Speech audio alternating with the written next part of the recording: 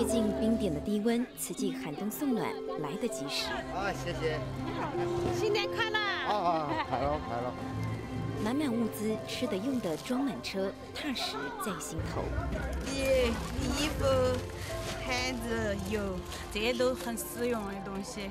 但，对我们这个就是，就是有的很激动说不出来，然后对我们的帮助也很大嘛。就说要换一颗感恩心。把米两包。职工胡杰专挑班米的体力活做，这趟来可是先和生下金孙的女儿告假。小孩多大呢？一一天儿。一天。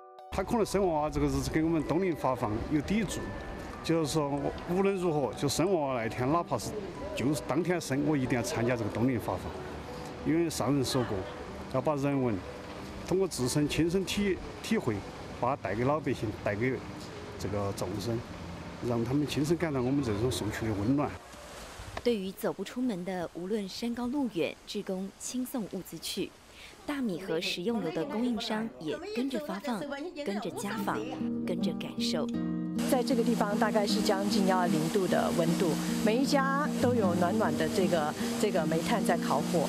那么看到他们脸上这个感谢的这个笑容的时候，说真的，就是说我们能感受到此际的温暖。自带温度的这群人，晒晒阴暗角落，微光微温带来些许不同。带新闻，王红叶平，四川报道。